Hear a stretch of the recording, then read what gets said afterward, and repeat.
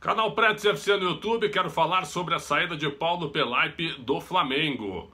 Um dirigente importante que contribuiu muito para a temporada vitoriosa no ano de 2019, com os títulos Carioca, Brasileiro e também da Libertadores da América. O Pelaipe era uma forma, assim, uma espécie de cara do meio-campo, que fazia o meio-campo entre vestiário com jogadores, comissão técnica e a diretoria e tinha a total confiança do vice de futebol Marcos Braz.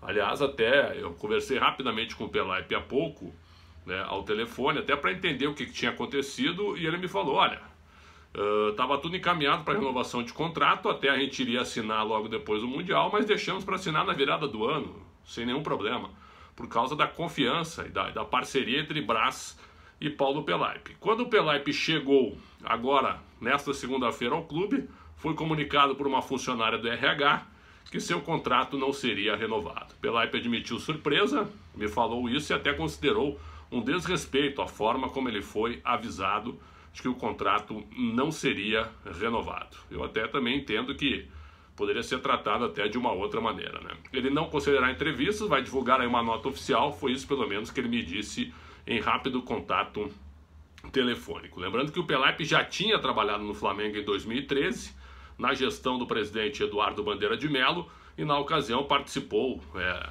daquela gestão que conquistou o título da Copa do Brasil com o técnico Jaime de Almeida. Eu, particularmente, também fiquei surpreso, porque tudo indicava que o Pelaipe realmente era um, um, funcionário muito importante na composição do departamento de futebol. Só que por questões políticas, e é isso que está sendo dito, né?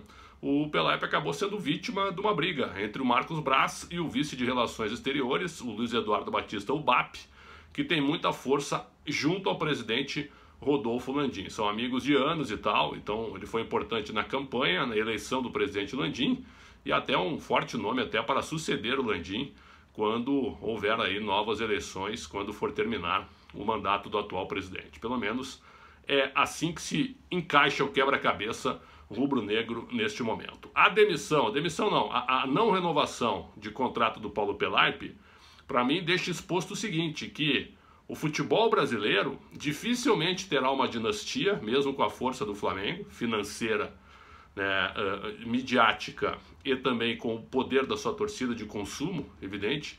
Mesmo com tudo isso, com a grandeza que o Flamengo tem, politicamente o Flamengo pode se auto-sabotar, como outros grandes clubes já fizeram a mesma coisa, com potenciais para dominarem o futebol brasileiro durante anos. Aconteceu isso com o São Paulo, aconteceu isso com o Internacional, com o Grêmio, agora com o Cruzeiro também, né, a falência do Cruzeiro. Quer dizer, o Flamengo já esteve na bancarrota, se recuperou com o Eduardo Bandeira de Mello e agora tem tudo para mandar no futebol brasileiro.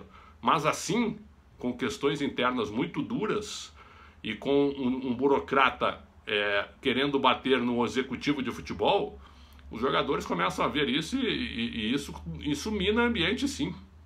Esse tipo de conflito mina ambiente sim. Então me parece que tem muita gente na diretoria do Flamengo querendo o poder e o presidente Landinha que tem que né, ter uma rédea mais curta, estou falando aqui de longe, para que o Flamengo siga sua trajetória normalmente. Ganhar não é fácil. Agora, se manter no topo ganhando, isso é difícil. Por quê? Depois que você tem um ano com três títulos importantes e tem realmente uma atenção muito forte voltada para si, agora tem que administrar as vaidades, porque todo mundo se acha campeão brasileiro e campeão da América.